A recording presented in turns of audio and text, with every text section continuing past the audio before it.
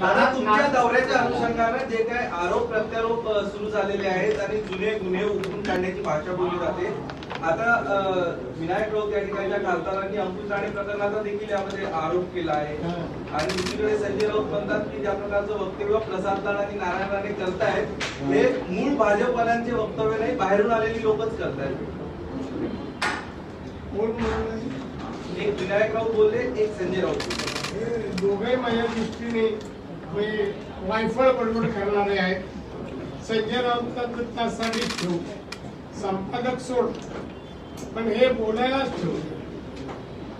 आणि त्यामुळे भाजपमध्ये ओरिजिनल त्यांचे काय जे आयडिओलॉजी आहे. हा आम्हाला घेताना ही आयडिओलॉजी स्वीकारून आम्ही आलेलो.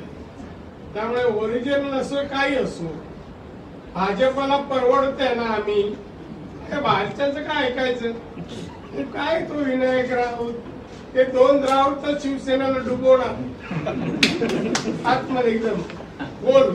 दादा मध्य परवा आपण ठाण्या विरारमध्ये हे केलं की एकनाथ शिंदे नाराज आहेत. आणि दुसऱ्या बाजूला आपण खेडच्या दौऱ्यामध्ये म्हणाल की रामदासबाई म्हणजे अप्रत्यक्ष की माझे जुने मित्र मला भेटायला असे किती लोक अजून शिवसेनेच्या मध्ये नाराज आहेत? आणि नाही, तर सगळ्यांना घेणार वेटिंग लिस्टवर आहे. कोणाला घ्यावं न घ्यावं हा आम्ही विचार करतो. दादा जन